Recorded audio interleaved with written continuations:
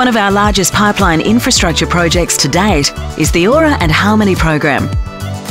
In partnership with McConnell Dowell, Unity Water is proud to announce a significant milestone in the program as more than 27 kilometres of large scale water and wastewater pipe starts to land on the Sunshine Coast. This is the first of approximately 160 semi trailer loads to arrive on the coast from Toowoomba, southern Queensland, where the pipes are made locally by Vinidex. The pipes will play a crucial role in delivering essential water and wastewater services to Stockland's Aura and Avid's Harmony communities. Unitywater, Stockland, and Avid have been collaborating on this project for more than 15 years to ensure these works are funded and delivered to benefit our growing communities. The arrival of the pipes marks a significant step forward in the Aura and Harmony program.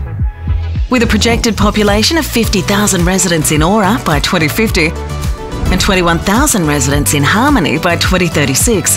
This program is vital in meeting the future demands of the communities, ensuring their long term sustainability and development.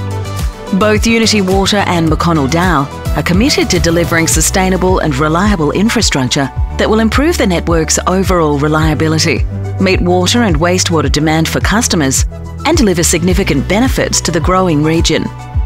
We look at about 250 workers at the peak of the project. Currently, we have about 85% local content for the people employed on the project, and we aim to put as much opportunity back into the local community and businesses as possible.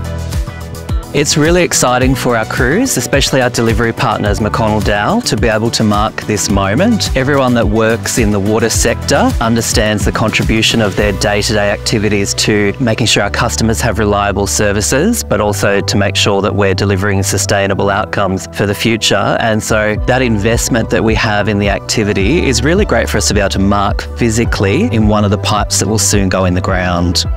It is imperative we do this with the highest standards of safety, environmental responsibility, and community engagement, all part of our mission to create healthy and thriving communities.